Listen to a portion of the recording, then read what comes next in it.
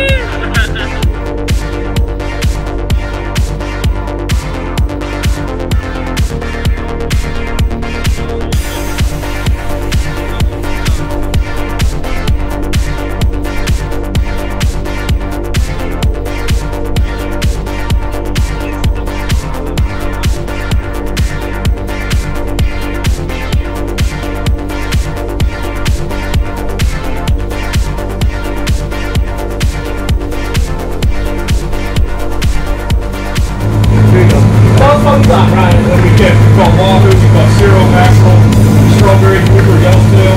Pretty good.